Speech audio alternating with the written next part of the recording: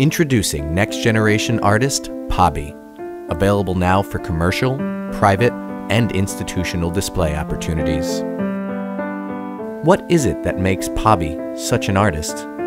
Is it a stroke? An impression?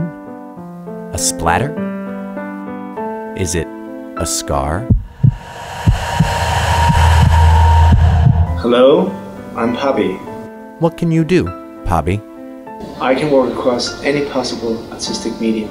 I can paint, I can draw, I can sculpt, I can sing. Ooh, baby, baby, it's a wild world. I can do the types of things that normal people might find distressing.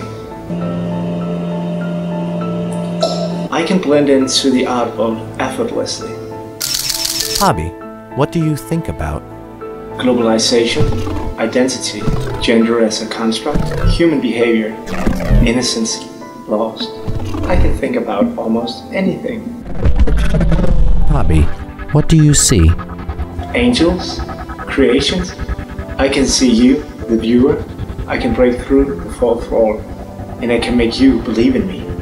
Pabi, what makes you sad? Nothing. I'm an artist, and I will channel that sadness into my creation. I understand people's emotions. I just don't feel it myself. This makes it easier for me to negotiate the cutthroat art world. Is there anything you would like to say, Pabi? I would like to express gratitude to whatever unknown forces come together to make me who I am. I am probably the best artist in the world. Next Generation Fine Artist Pabi, available in the art world.